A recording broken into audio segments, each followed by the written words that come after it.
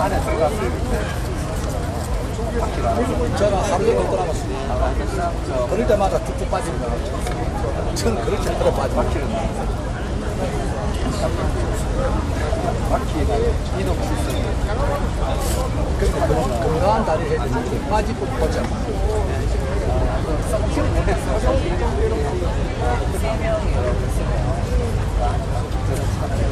제가 완전 꿀벅지였거든요. 꿀벅지가 강화문에 내가 죽겠다. 한가 이걸 달고 너무 미워. 오.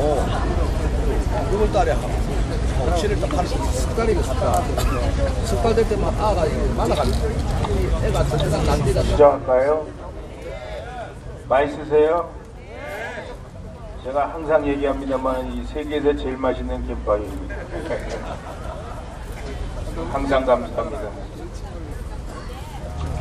오늘 이 난세 리더십에 관해서 우리 에, 정 교수님께서 오늘 정현우 교수님께서 오늘 석자 교수님께서 오늘 좋은 말씀 해주실 텐데 책을 한권 주셔가지고 제가 김밥 먹으면서 잠깐 봤더니 구구절절이 옳은 말들이 많이 써 있어서 아마 오늘 좋은 강의가 되시리라고 생각을 합니다. 음, 아까 저희가 기자회견하면서 얘기했는데 압수수색 한다고 서울대 가가지고 12시에 끝나고요. 달랑 서류 하나만 갖고 왔다고 그러네. 그래서 윤석열 이놈아 장난치지 마라 그랬는데 윤석열이 제가 보기에는 자기들은 괜히 계속해서 아니라고 그러지만 이게 짜고 치는 고스톱 아닌가. 그 아까도 저 요메우리 TV하고 방 저기 인터뷰를 했습니다만은 이 지소미아가 나온 뒤에 조국 이름이 그저 인터넷상에서 많이 빠졌다는 거 아니에요? 그리고 우리가 예상한 대로 지소미아를 통해서 조국을 들끓는 저 유튜브와 인터넷, 인터넷에서 조국의 이름을 좀 빼야 되겠다. 아마 그렇게 생각해서 성공한 것 같은 그런 느낌이 들고요. 그 다음에 뭐 문재인 대통령 나서서 가짜뉴스 뭐 어떻게 한다 저떻게 한다 그러면서 아마 조국의 뉴스를 좀 뒤로 들어가게 하고 제가 항상 말씀드렸잖아요. 이 좌국, 저희 저, 이, 이른바 저 좌빨들은 보통 치밀하고 보통 열심히 하는 게 아니고 보통 자기들끼리 의리가 보통 보통 의리가 아니라 그래서 항상 우리가 에, 좋은 기회가 있음에도 불구하고 나갈 때가 많이 있다 그 말씀을 드렸는데 하여간 우리 조국 어떻게 하나 한번 두고 보시자고요. 그래서 또 면제부 주기 위한 또 압수수색하고 면제부 주기 위한 생쇼를 했으면 지금 뭐 저희가 거의 예상을 하고 있잖아요. 관광여행 가신 문재인 선생이 또 외국 가가지고 전자결제하고 그리고 조국이는 청문회 하는 척 하다가 결국은 법무부 장관 되고 그러면 압수수색 흐지부지 되고 그렇게 될 텐데 우리가 이거 다 기록해 놓자고요. 그리고 우리가 절대 용서하지 마십시다. 그래서 다시는 이 땅에 좌익들이 준동하지 못하도록 해야 되는데 하여간 오늘도 어, 이렇게 계속해서 참여해 주시고 관심 가져주셔서 감사하고 오늘 또 우리 에, 정현우 교수님 감사합니다 말씀드립니다. 오늘 좋은 강의 되시기 바라고 제가 항상 드린 것처럼 시험 봅니다. 기말고사.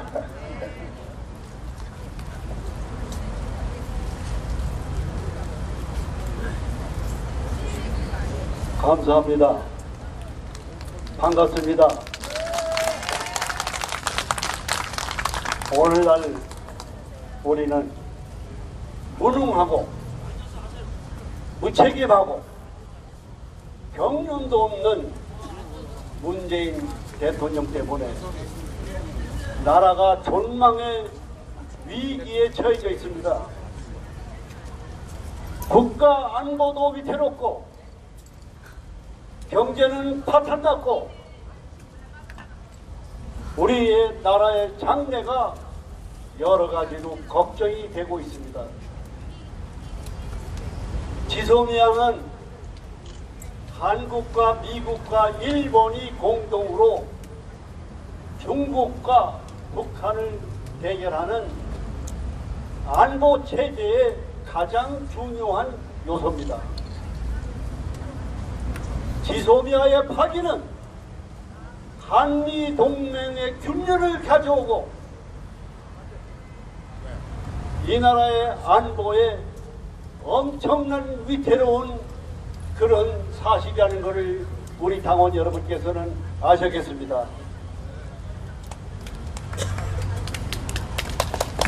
신의한원 애국당원 여러분 오늘 이 자리에 여러분은 나라를 사랑하고 국가의 장래를 염려하면서 역사의 현장에 여러분들은 서 계십니다. 여러분의 마음과 정성 하나하나는 이 나라의 경제를 살리고 이 나라의 안보를 튼튼하게 하고 자손 만대에 부강한 나라를 만들기 위한 초석을 다지기 위해서 이 자리에 앉아 계시다고 저는 믿고 있습니다.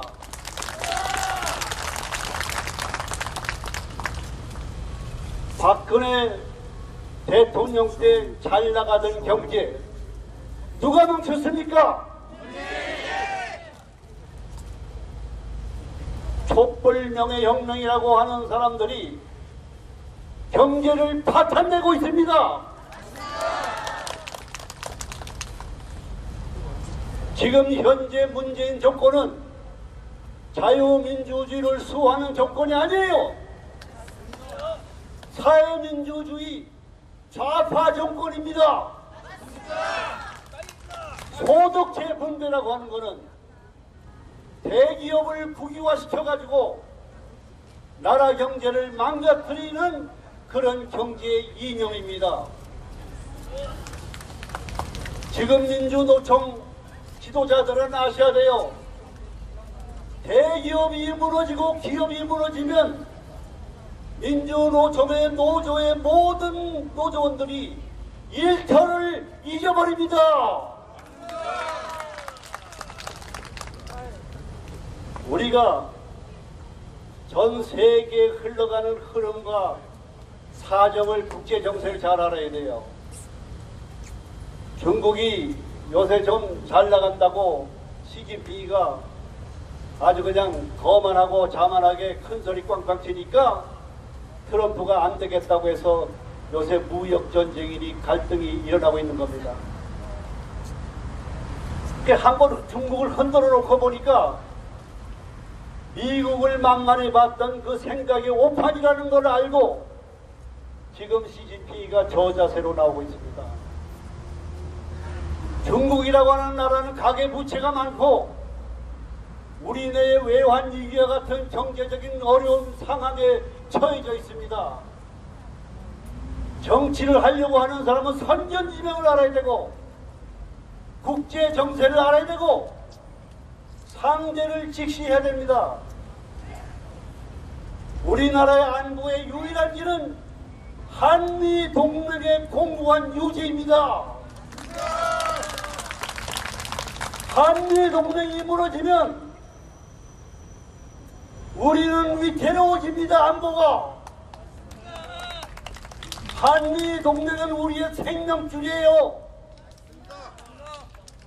그런데 지소미아는 한미 관계 균열을 가져오고 중국에다가 등거리 외교하려고 하는 오판을 하고 있습니다. 이 지소미아 폐기는 탄핵에 해당하는 사항입니다. 안보를 위태롭게 하는 대통령이 탄핵되어야 하는 것입니다.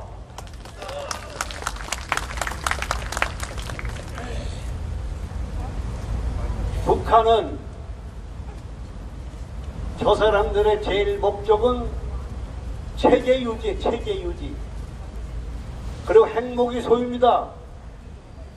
절대로 핵무기 포기하지 않습니다. 체제를 위해서 수단과 방법을 가리지 않아요.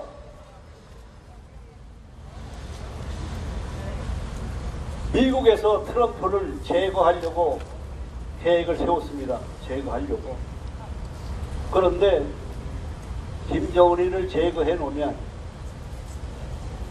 그 이후의 사태를 분석해 보니 혼란 상태 가중되고 북한 주민의 이주 현상 탈북 상태가 전 세계적으로 확산되고 골치 아픈 문제가 되는 거예요. 그 제거하는 게 능사가 아니거든. 그 이후의 문제 사태를 생각해 봤을 때 그냥 놓고 그냥 다루는 게 좋겠다고 하는 판단에서 지금 트럼프가 김정은과 가깝게 지내는 겁니다. 우리는 항상 표면에 나타나고 이렇게 바깥에 나타난 것만 가, 지고 생각합니다만 그 안을 들여다봐야 돼요. 안을 들여다봐야 돼요. 과연 트럼프의 속셈은 무엇이냐 이 말이냐. 북한의 김정은이는 적화 통일의 야욕을 절대 버리지 않습니다. 지금 우리나라의 안보는 지금 냉철하게 생각하면 김정은이가 남한을 무력, 무, 전, 무력화로 접, 접, 접수하려 그러면은 아침 반나절이면 접수 다 끝나요. 휴전선으로 넘어오질 않아요. 난파 간첩들이 엄청난 규모로 조직화되어 있고 전력화되어 있습니다. 일요일날 새벽 우리는 잠자는 동안에 모든 기관과 요소 요소를 접수하고 파괴하면 반나절이면 끝나버리에요. 반나절이면. 그런데 김정은이는 접수하는 게 능사가 아니라 접수한 다음에 남한 정부를 어떻게 자기가 컨트롤할 수가 있겠느냐 이거예요. 그래서 말하자면 김정은의 속셈은 문재인을 갖다가 괴뢰 정부로 만들어서 다스리려고 생각을 하는데 문재인이 중국과 가깝게 지내고 자기네들의 요구대로 개성공단이니 이런 협조적인 것을 안 하니까 갈등이 생기고 있는 겁니다. 전쟁이라고 하는 것은 항상 오판에서 오는 겁니다. 언제 상황이 바뀌고 시대가 바뀌면 남한 정부를 갖다가 남한을 갖다가 접수하려고 하는 음모를 꾸밀 수도 있다고 하는 사실을 알아야 돼요. 설마가 사람 죽입니다. 근본적인 국방 전략 정책을 예비군 중심으로 해서 남한의 모든 기관, 공공기관, 기업체 튼튼한 안보 체제를 강화해야만 합니다. 전번에 그 일산 조유소 사건과 KT 화재 사건은 아직도 확실하게 그것이 규명되지 않고 있습니다.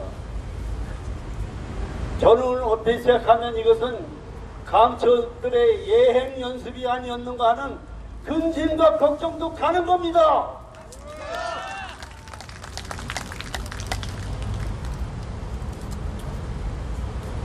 우리는 박근혜 대통령의 명예를 회복해야 합니다. 좌정 혁명 세력에 의해서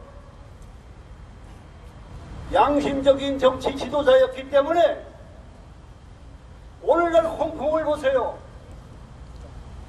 홍콩 시민들이 들고 벌기를 하니까 중국 정부군들이 체류탄을 쏘고 총을 쏘고 강경 진압을 하고 있지 않습니까?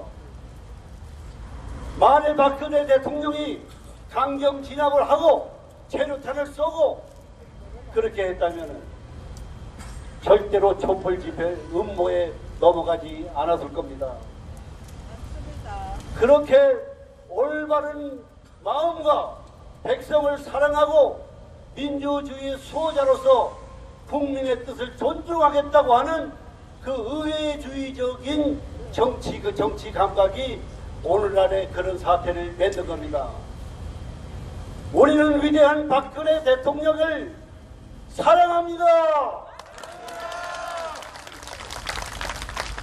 우리는 박근혜 대통령을 존경합니다. 우리는 현재 경제 현실을 똑바로 직시해야 됩니다. 사회주의 이념 소득 분배 이 잘못된 경제 정책으로 인해서 우리가 어려움을 겪는데 박근혜 대통령은 정치를 할 때 장관 중심으로 경영 행정을 했어요. 장관 중심. 장관이 그 정부 부처의 책임자고 그 책임 장관이 그 정부 부처의 모든 것을 하는 겁니다. 장관 중심으로 정치를 해야 돼 대통령은. 박근혜 대통령은 장관 중심으로 정치를 했어요. 문재인 대통령은 장관 중심으로 하지 않고 청와대 중심으로 하고 있습니다.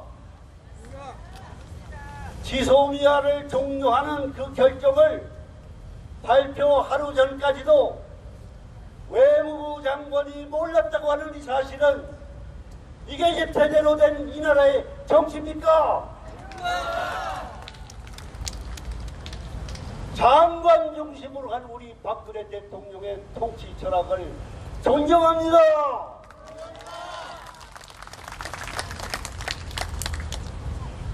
앞으로 우리는 안보를 튼튼히 하고 경제를 발전시키고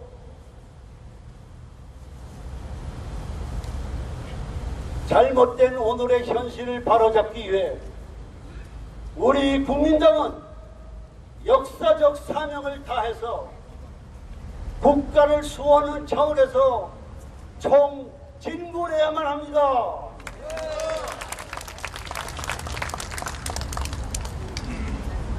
정치라고 하는 것은 천하의 대세를 볼 줄 알아야 돼, 대세.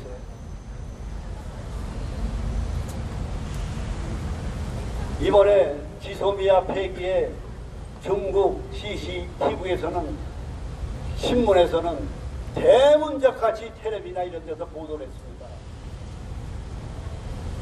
얼마나 좋아하는지 몰라요. 그러지 않아도 지금 미국과 일본은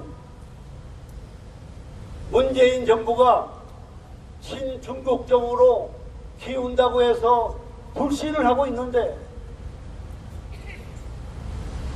거기에다가 대고 지소미아까지 폐기시켰으니 한미 간의 갈등과 균열은 어떻게 되겠습니까 여러분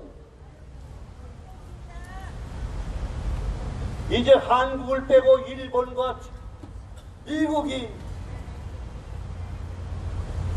이제 전쟁에 대한 여러 가지 훈련을 그 훈련을 지금 하고 있습니다. 우리는 어떤 경우에도 한미의 안보를 갖다가 위해서 우리 당원들은 한미 동맹을 강화하는데 총대진해야만 합니다.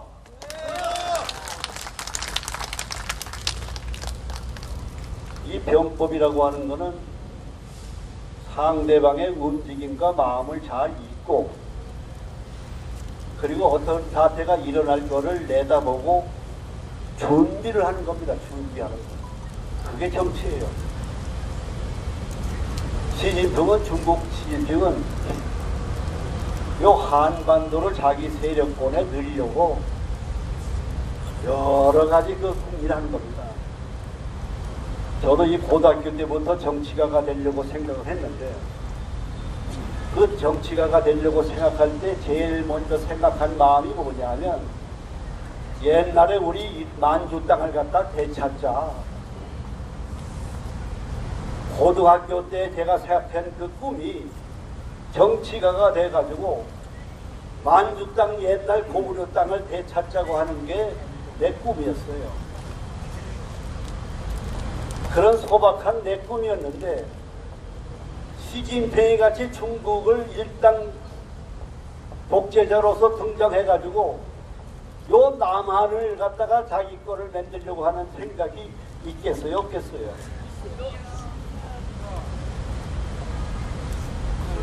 우리는 이런 여러 가지 국제 정세에 미국과 중국과의 대립이 격화되고 있는 이 마당에 양쪽 눈치를 보는 이런 정치 외교를 해서는 나라의 안보가 위태롭습니다.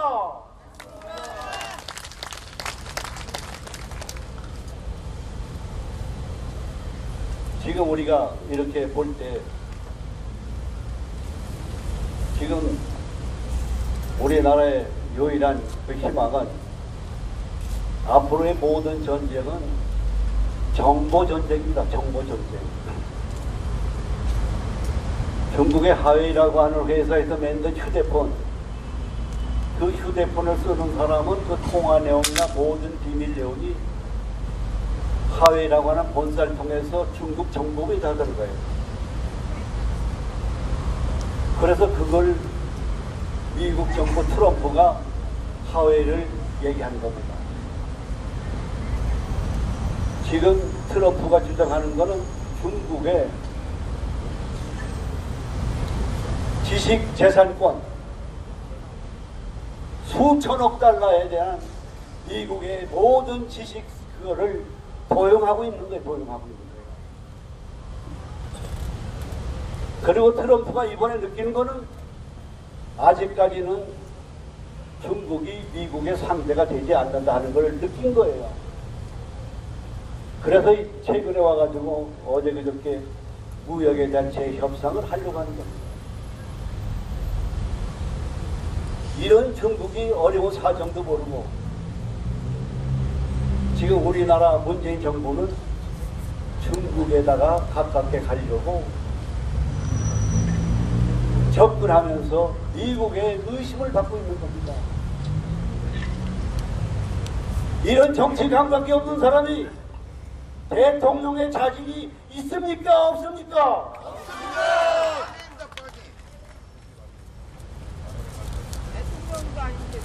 이제 우리나라는 안보를 튼튼히 하면서 박근혜 대통령의 석방을 논할 때가 아닙니다. 앞으로 이 나라 장래를 이끌 지도자로서 정치 복권을 해야 합니다. 우리는 박근혜 대통령의 정치 복권을 위하여 매진합시다.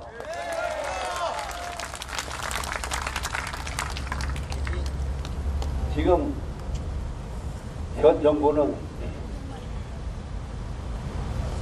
선거법을 연동제 비례대표제로 개- 개선해가지고 제1야당을 없애고 군소정당화 야당을 시켜서 분열시켜놓고 사회민주주의 헌법을 통과시켜서 자유민주주의를 갖다가 시- 수호하는 우리의 뜻을 외면하는 그런 정치를 법을 만들지도 모르는 위기 상황에 놓여 있습니다. 문재인 대통령은 독재자입니다.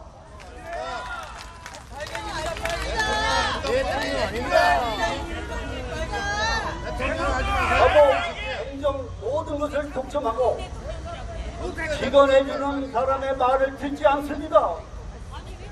탈원전 사태는 국가 에너지 산업에서 엄청난 중요한 문제예요. 누구 하나 이 탈원전 정책에 대해서 얘기할 사람이 없어요. 이 나라가 정치가 잘 되고 위해서는 문재인 대통령이 통치 철학을 바꿔야 돼요.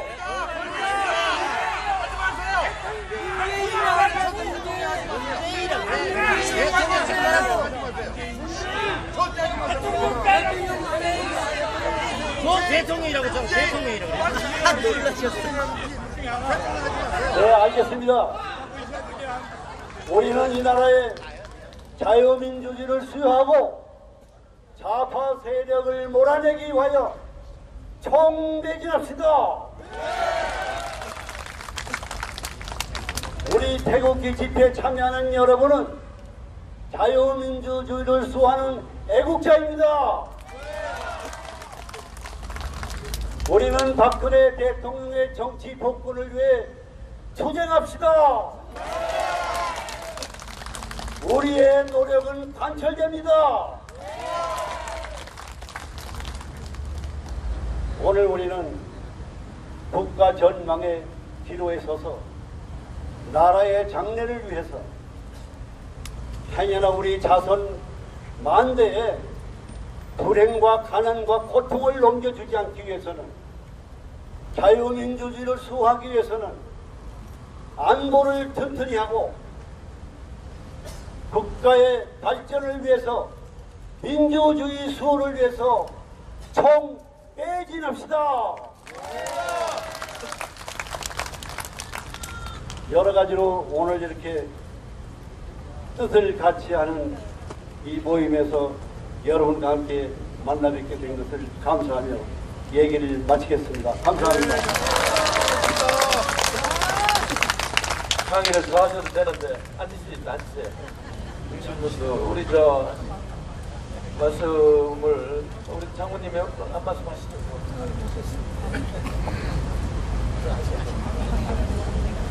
아주 열강을 해주신 우리 정현우 석자 교수님께 큰 박수 한번 다시 보내주십시오. 얼마나 기가 막히고 얼마나 억장이 무너지면은 지금 나오셔서 저런 절규를 하시겠습니까?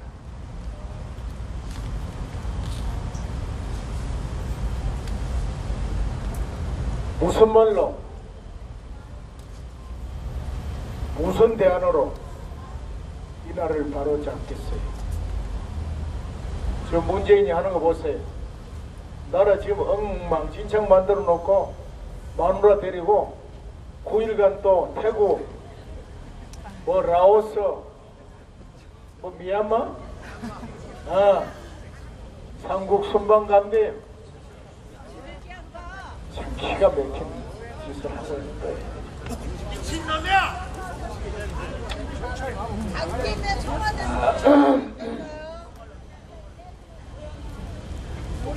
저는 요즘 뭐 문재인이가 어떻다, 조국이가 어떻다, 그 얘기 자체가 하기 싫어요. 해봤자 소용이 없습니다. 뭐 해야 되죠? 어떻게 끌어내릴 겁니까? 어떻게? 우리 공화당, 우리 공화당의 역량을 키우는 수밖에 없어요. 아까도 이 우리 상임 고문 저 어른께서 89세래요. 집회 가는 날을 잡고 지금처럼 하지 말고 자유한국당하고 어쩌고 어쩌고 사서 언성을 좀 높였어요. 우리가 이런 무장을 해야 됩니다. 아직 시간이 있으니까 제가 말씀을 좀 드릴게요. 지금 소위 우리 보수 우파 진영에 큰 두 개의 축이 있습니다. 국회의원 뭐 112석 가지고 있는 자유한국당 그리고 국회의원 두석 가지고 있는 우리 공화당 많은 분들이 그래요. 하나로 합치라고. 하나로 합치라고. 여러분들도 많이 들었죠? 저도 지난주 서울역에서 우선 뭐, 어? 전국 조직을 가지고 있는 단체장을 했다는 사람이 느닷없이 내보고, 어? 자유한국당하고 합쳐야지 말이야. 뭐 어쩌고 샀더라고. 그래서 똥물에 있어요. 당신 누구야? 그래서 내가. 저는 몇번 본 사람이에요. 그랬더니 우리 공화당 당원이라는 거예요. 어. 꼭 간첩이라고 보지 않습니다. 우리 당원들 중에서도 그런 생각하는 거예요. 지금 밖에 많은 보수 우파를 자처하는 국민들이 하는 얘기가 그 얘기예요.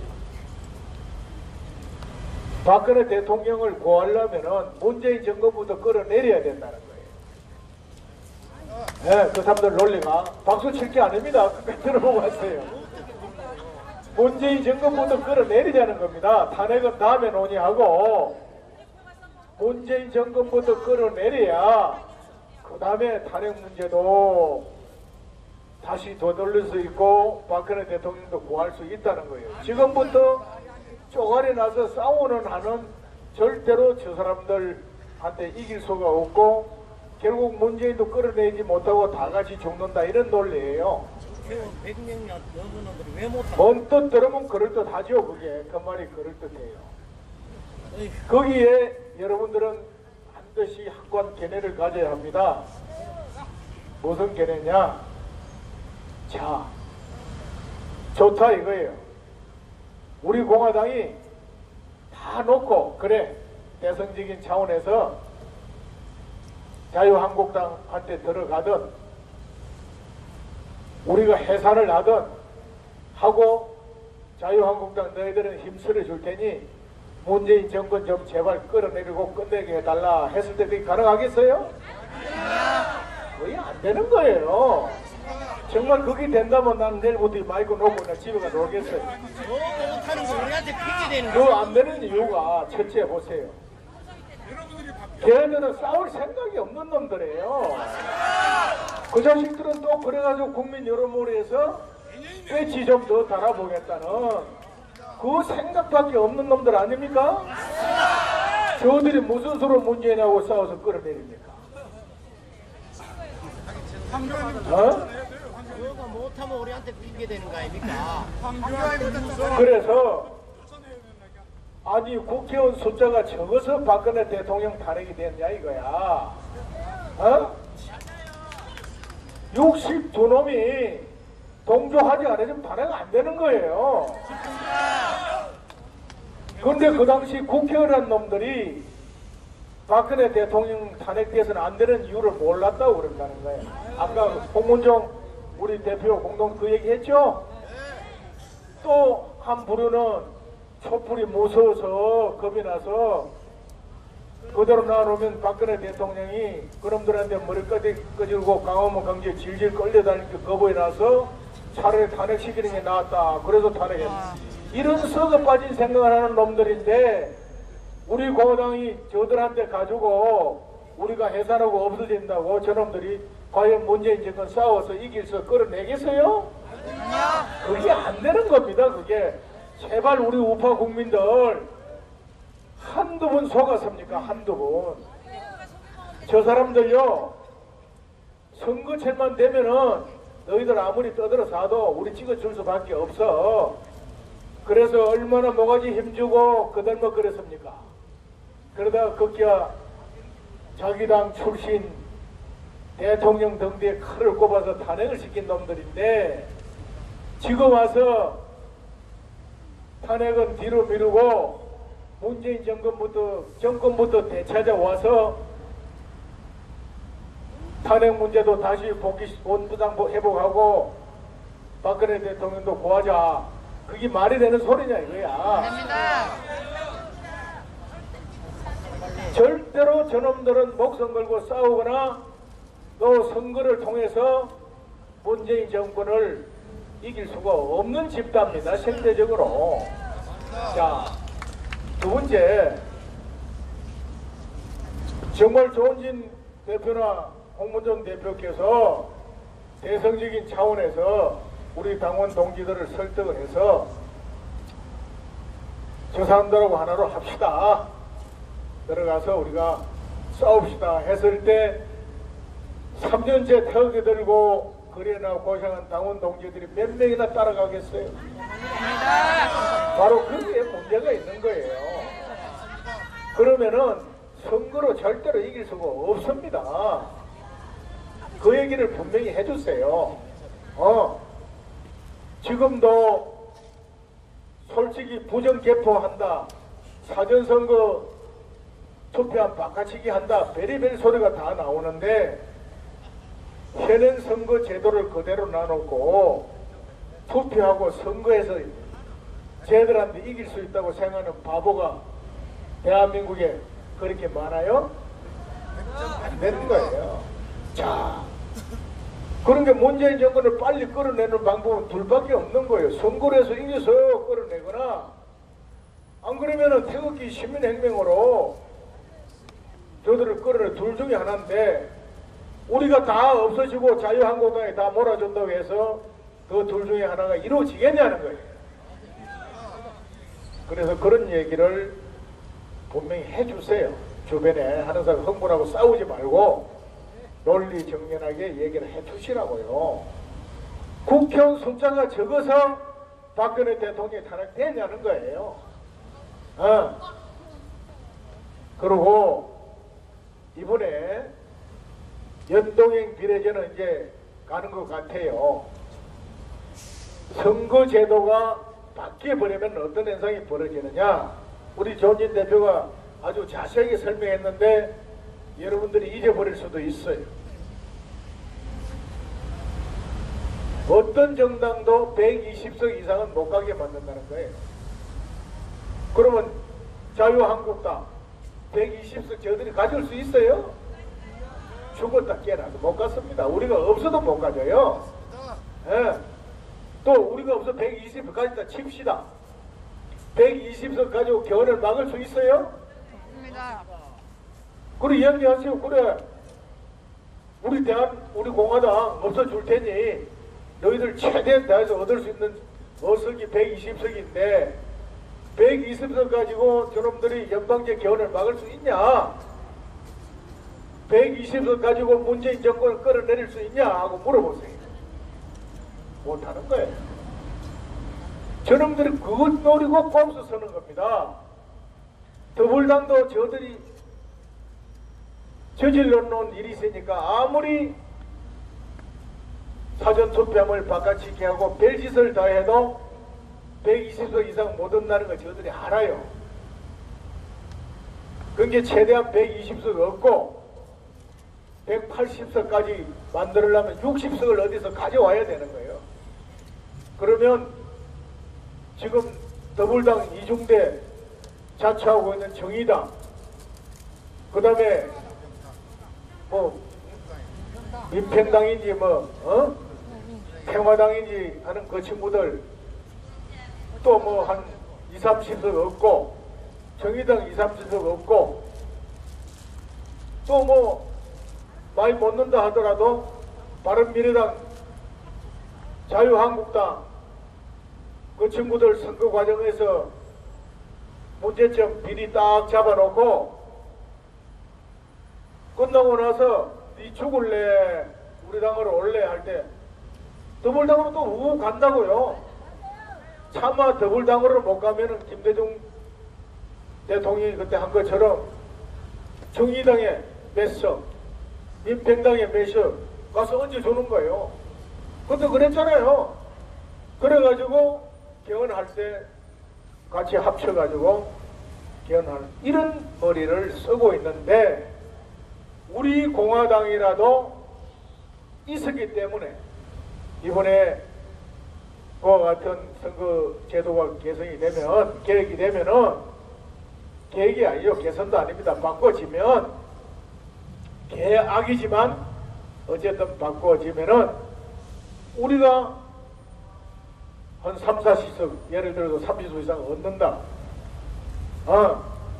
그리고 뭐 자유한국당 저들이 한 100석 얻는다. 그럼 130석에다가 바른미래당 그것들도 한 2, 30석 얻는다.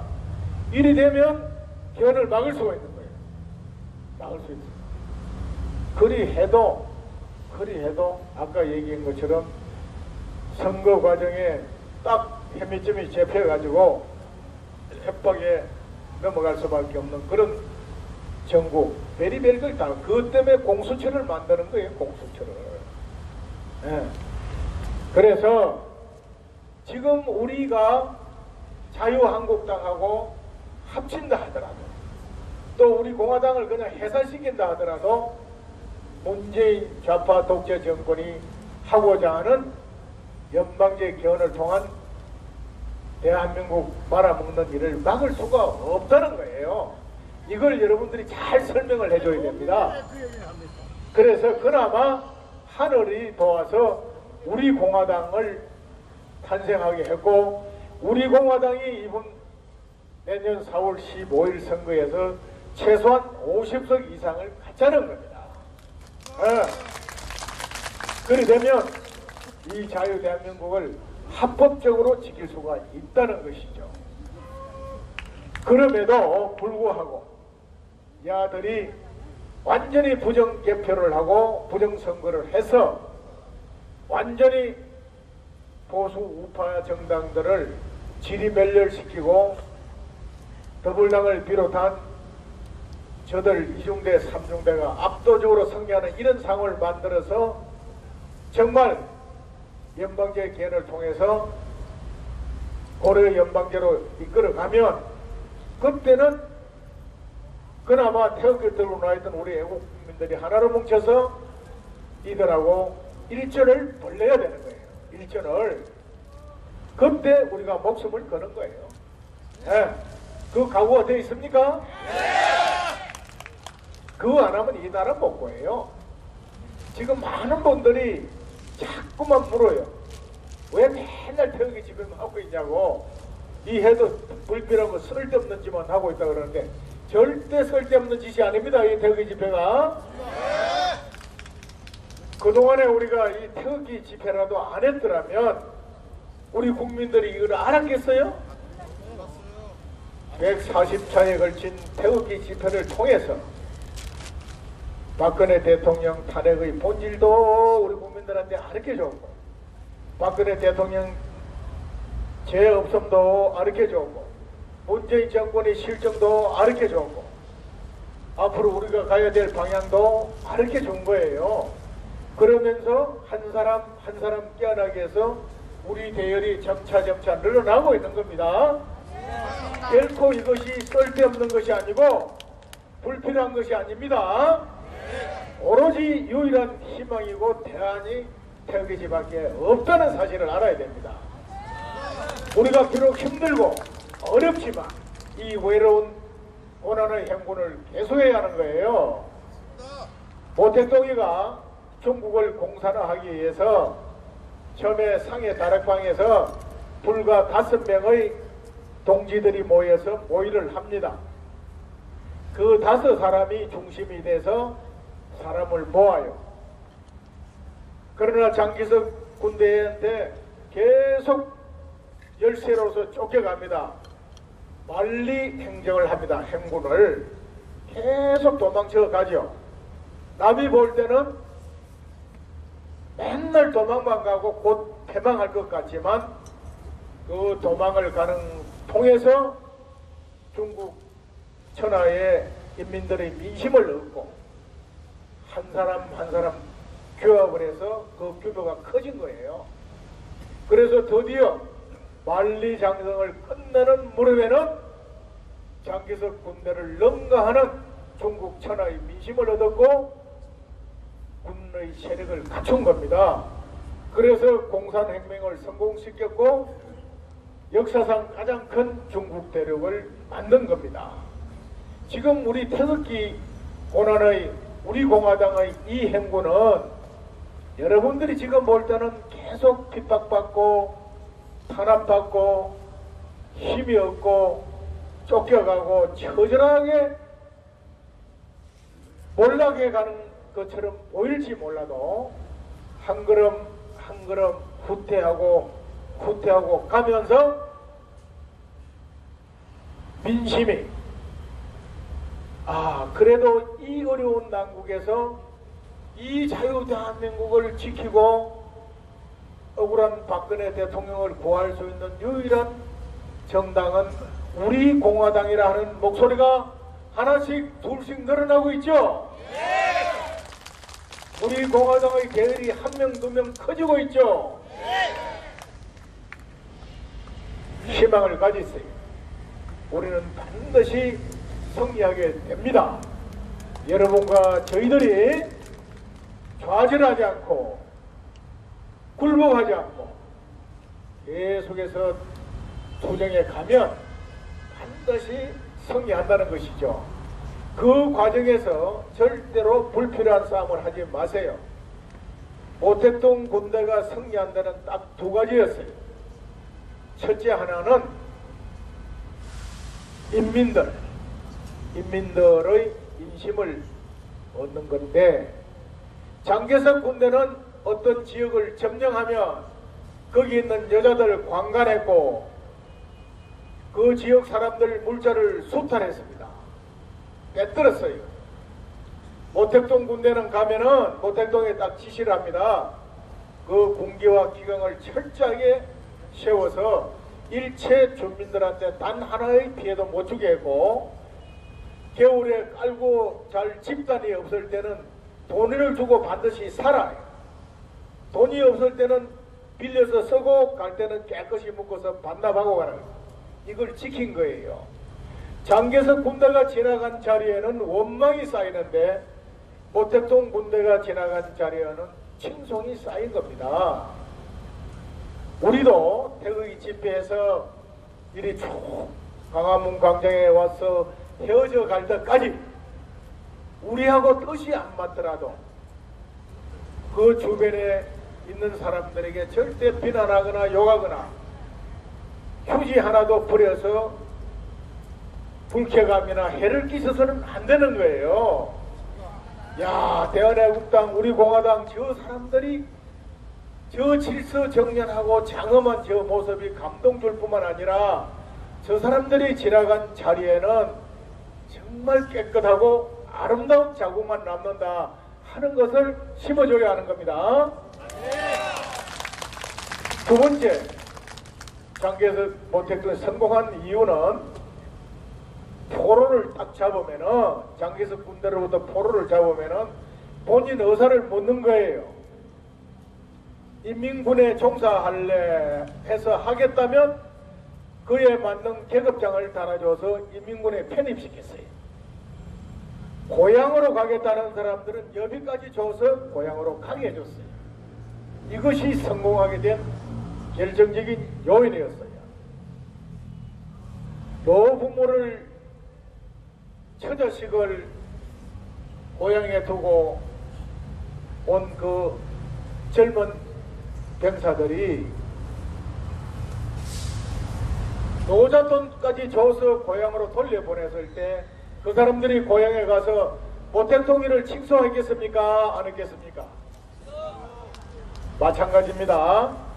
우리가 행진해 오고 또 평소에 우리가 만나는 많은 사람들에게 우리하고 뜻이 안 맞다고 해서 들어대고 싸우고 해서는 안 되는 거예요. 그 사람을 존중하세요. 아, 당신 말이 맞소. 그러나 조금만 더 가서 생각을 한번 해보세요. 그리고 저희 집에 와서 연설하는 걸 한번 좀 들어보세요. 그리고 판단은 여러분들이 하세요. 이렇게 해서 보내야 되는 겁니다. 그걸 맥살을 잡고 싸우고 빨개 이 새끼니 말이야 어?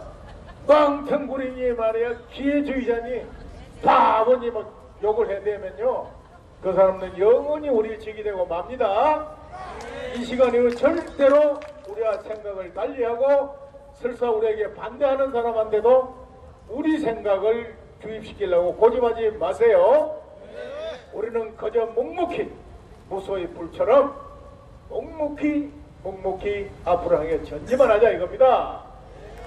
오늘 이것을 우리가 꼭 다짐을 한다면 우리가 우리 국민들의 인심을 언젠가는 우리가 다 얻게 될 것이고 우리는 반드시 승리하는 우리 공화당이 될 것이다 이렇게 봅니다. 네 감사합니다.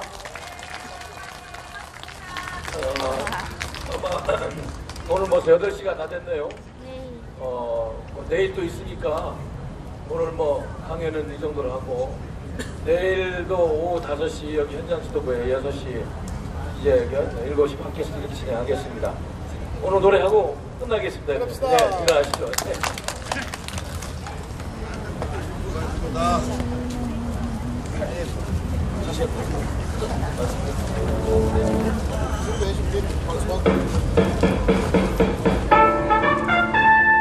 박근혜 즉각 소방 가택투용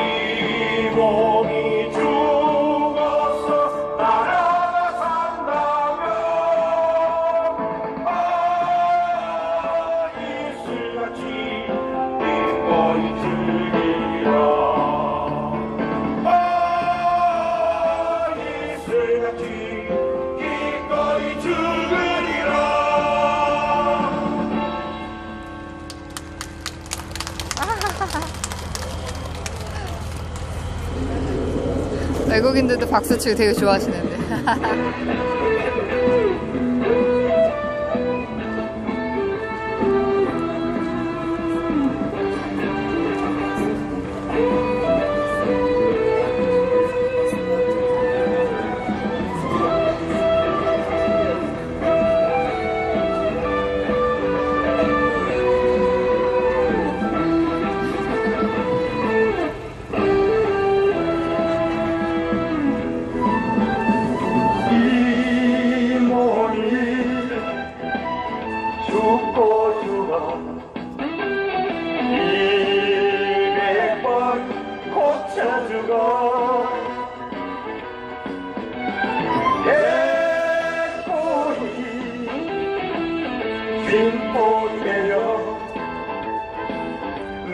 tirado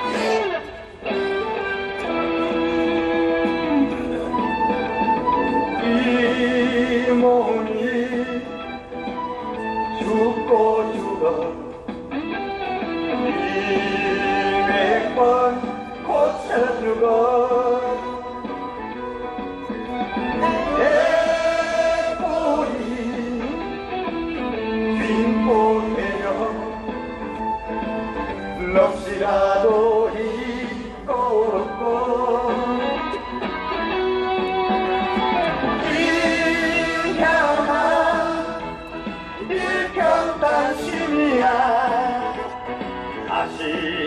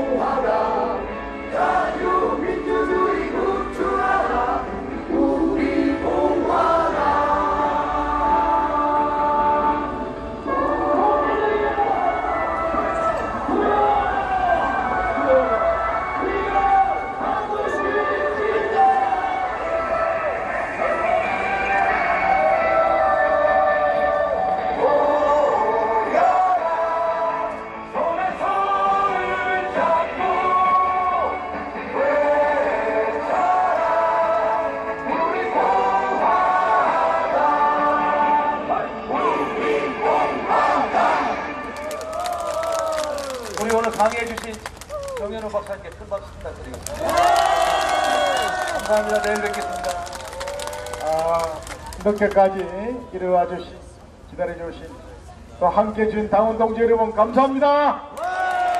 우리 박태우 본부장, 최군이 있으면서 항상 제일 고생합니다. 큰 박수 한번 해주세요. 그리고 우리 조은진 대표님은 지금 대구에 급한 일로 가서 오늘 함께 못했습니다. 이해를 하세요. 감사합니다. 여러분들이 오기 믿어 이 시대. 진정한 태극기 행명군 화이팅! 감사합니다.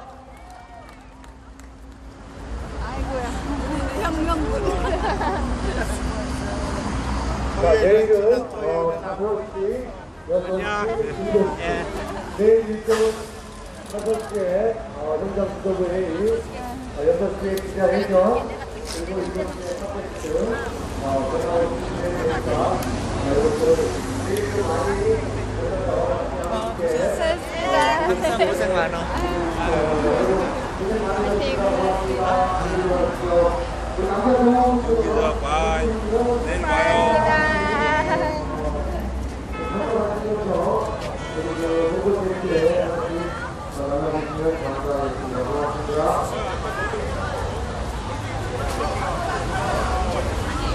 그 29일 날 서공원 정문 앞에는 선수 연결했어요.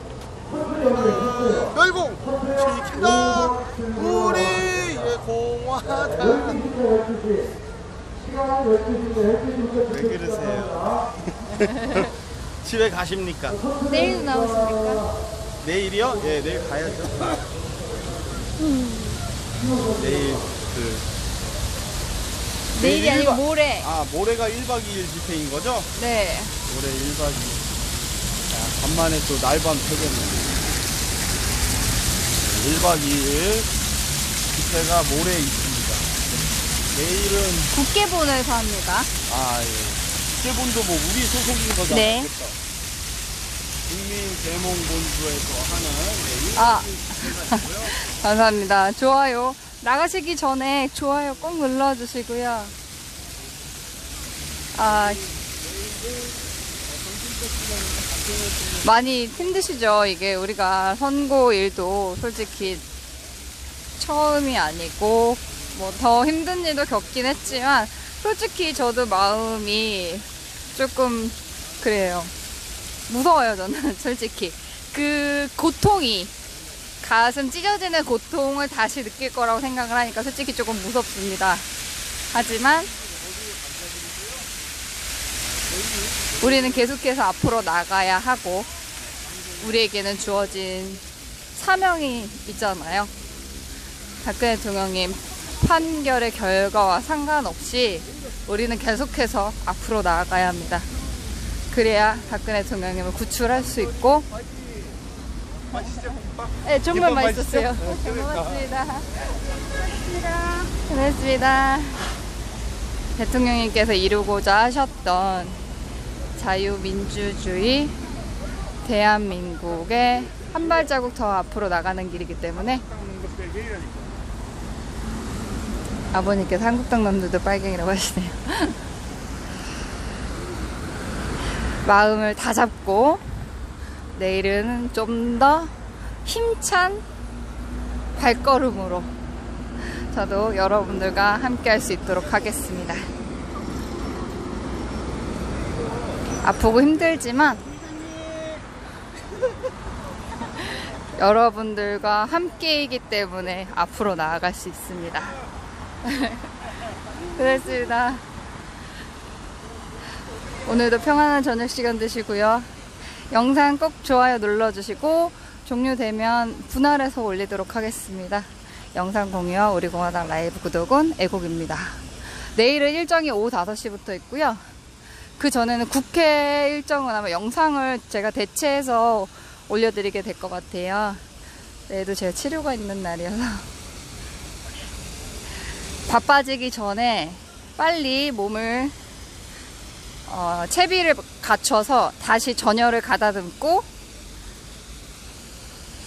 더 바쁜 투쟁에도 열심히 뛰어다닐 수 있는 유기자가 되겠습니다. 그리고 모레가 목요일 그 계속 제가 채팅창에 집회 안내를 올려드리고 있는데요. 잊지 마시고 그날은 무슨 일이 있어도 나와주셔야 됩니다. 최대한 많이 나와주셔야 됩니다. 주말 집회보다도 많이 나와주셔야 됩니다. 왜 그런지는 여러분들께서 저보다 더 잘 아실 거라고 생각합니다. 29일 목요일은 오후 12시, 그러니까 점심이죠. 12시 서초역 5번 출구로 나오셔서 직진해서 조금만 도보 이동을 하시면 대법원 정문이 있습니다. 대법원 정문 앞에서 12시부터 집회가 시작될 예정이고요. 그리고 선고가 몇 시에 날지 얘네가 몇 시에 선고를 내릴지 모르겠지만 그 판결이 나면 바로 행진을 시작합니다. 그리고 4시에 다시 대법원 정문 앞으로 돌아와서 2부 집회가 있을 예정이고요. 가능하시다면 지금 예정으로는 저녁 7시에 광화문역 9번 출구 계단 앞에서 팟캐스트가 있는데 내일 에, 목요일 상황에 따라서 변동이 있을 수는 있을 것 같습니다. 그래도 예정 사항이니까 일단 안내는 해드릴게요. 내일 만약에 편찮으신 부분이 있다면 내일까지 푹 충전 잘 하셔서 목요일 날 많은 분들과 함께 할 수 있기를 바랍니다. 저는 영상 여기서 마무리하겠습니다. 내일 뵙도록 하겠습니다. 우리 공화당 라이브였습니다. 감사합니다.